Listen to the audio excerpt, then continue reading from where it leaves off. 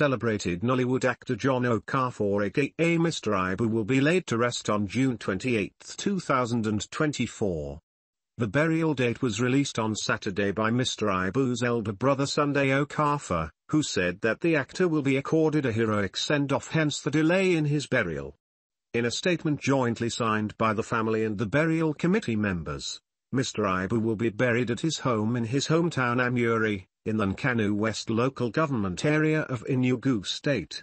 The Okafor family in Eziakwamuri, Nkanu West LGA in Enugu State wishes to honor the loving memory of our hero and legend John Ikechukwu Okafor who even in death has left a legacy of love, laughter, and liveliness.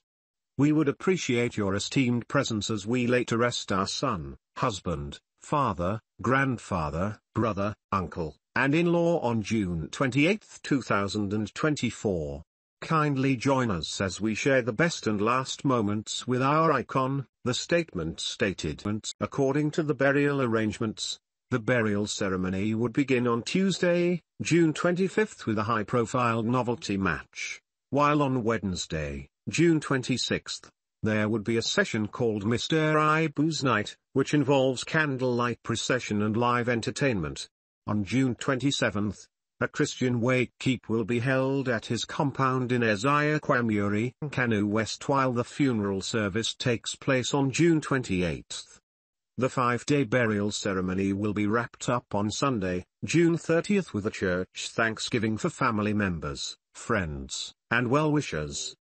The burial committee will be chaired by Honorable Monday Diamond Danny. The actor became famous 20 years ago in the Nigerian comedy Mr. Ibu, which became his nickname. It is still regarded as one of the best Nigerian performances in a comic role.